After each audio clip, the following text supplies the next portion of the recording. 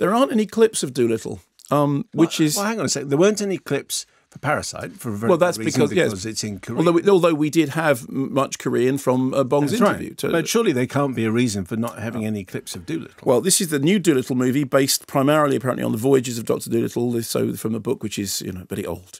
Um, is it Hugh Lofting did the, the Dolittle original stories? I confess I never read the Dolittle Me neither. Okay. Um, uh, in fact, I think my first contact with Dolittle was the 1960s, the Rex Harrison version. Which, okay, here's a trivia question: hit or miss Rex Harrison version? Okay, well, I'm obviously going to say hit because it was I enjoyed the movie and I can still remember some of the songs, but obviously you're misleading me, so I'm going to say miss. Yeah, flopped. Um, lost money. Uh, there was a huge campaign for Oscars for it for the songs, you know. Um, but uh, but it, it actually it was because it famously came out at the time that Hollywood was changing. The old Hollywood system was breaking down. You were starting to get the arrival of new movies, you know, in the, the mode of you know, The Graduate and Easy Rider. So there was a whole new audience that was starting to look for new youth orientated pictures, and Dolittle was kind of one of the old dinosaurs. Since then, there's been animated TV series, several stage adaptations, both musical and straight, a new series of movies starting in 1998, the first two starring Eddie Murphy, another direct to video animation featuring amongst others, the voice of Tim Curry. Now we have what we didn't know we wanted Robert Downey Jr. as Dolittle. A recluse since his mm. beloved wife sailed off on an adventure to go and find something, never came back. He is called to the bedside of the young queen who is gravely ill. And to save her, he must go on a voyage to find the magical fruit of a magical tree on an island, the island for which his lost beloved was searching. Cast includes Antonio Banderas as Rassouli the Pirate King and Dolittle's father-in-law, Michael Sheen Good as cast. uh, Blair Mudfly, sinister creep who's sent to follow Dolittle and kind of make sure he doesn't succeed. Emma Thompson as the voice for macaw, Rami Malek as a fearful gorilla, Tom Holland as Dog Jip, John Cena as Polar Bear, Kumail Nanjiani as an ostrich, Marion Cotillard as a fox. Anybody who is anybody is in the film. Cost 175 million. Looks set to post a significant loss. Incidentally, just like the Harrison version, which you said yourself, your main memory was that you'd seen it and liked it, Yeah. and that you were a fan of the songs.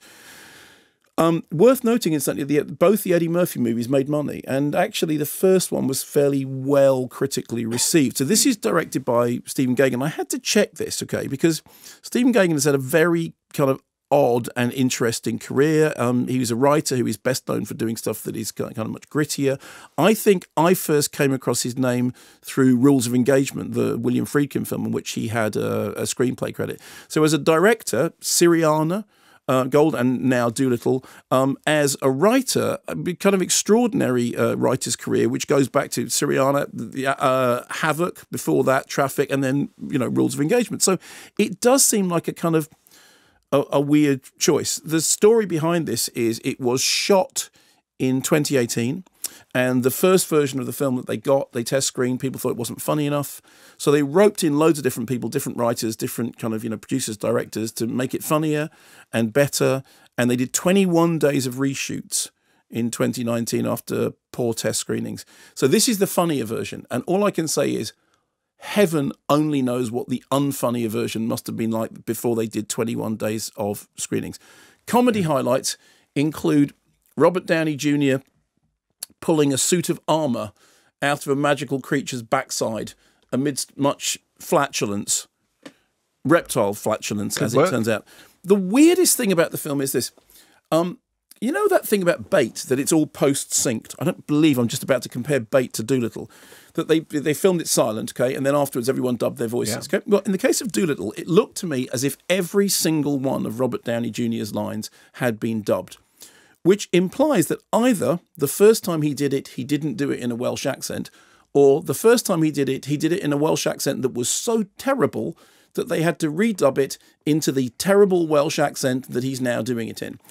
Not only is Robert Downey Jr.'s Welsh accent so bad that it would make you want to stand up and applaud Russell Crowe at the end of Robin Hood and suggest that the University of Cambridge give him an honorary professorship in the Department of Linguistics. But his accent is made worse by the fact that many of the scenes in which he's doing the terrible Welsh accent, he is on screen with Michael Sheen, ah. who is doing the perfect cut glass British accent because Michael Sheen can do accents. He can. Apparently, Robert Downey cannot. Now, incidentally, I did then have to check whether what Robert Downey was doing was indeed a Welsh accent because I don't wasn't sure where this came from. So I found an interview with him in which he said the following. It's the same thing I did with Iron Man. All right, there's something here. That's before I signed on. I just went Googling weirdest Welsh doctor. I just wanted to think of, I don't want to do another English accent. So there was this guy called William Price, who's a nutty Welsh doctor. I'm quoting him. He's a neo druidist. He believed he could communicate with all nature and all that stuff. So I sent a picture of this wild looking guy wearing this kind of suit with stars on it and like a staff in his hand. I sent that to Gaghan and he goes, This looks good to me. And I was like, Great, let's do this movie. The tagline for the Harrison version was, um, you know, was it like you've never seen anything like it in your life? Because that was the song, wasn't it? You've never seen anything like it. And in this case, the tagline should have been, You've never heard anything like it in your life. It is. So, at the centre of it, the worst accent. I would play you a clip of it, but we haven't got There one. any. Okay. But it goes like this Hello, I am Dr. Dolittle Boyle, and I have been wandering uh, through the life. And you're going, What? What? Where? What? Is, is he's from Mars? What? A little bit of Willem Dafoe. Yes, and there. every now and then, oh, At it, it just yeah. okay, Willem Dafoe in the Lighthouse, right, is on the straight and narrow when it comes to accents. You can literally with you'd put a line in the sand with a staff and go over here. Willem Dafoe, everyone from every Guy Ritchie movie ever. Um, your man from the Ocean's Eleven films who does the Cockney accent, all over on this side because over here is Robert Downey doing Doctor Dolittle. Beyond that, the central performance is terrible, but it's so terrible that it kind of distracts you from all the other things that are terrible. The terrible script, the terrible visuals, the dull plot, the dismal gags, the fact that at 101 minutes it really, really tested the patience. It is shockingly poor. And that's the same in any language.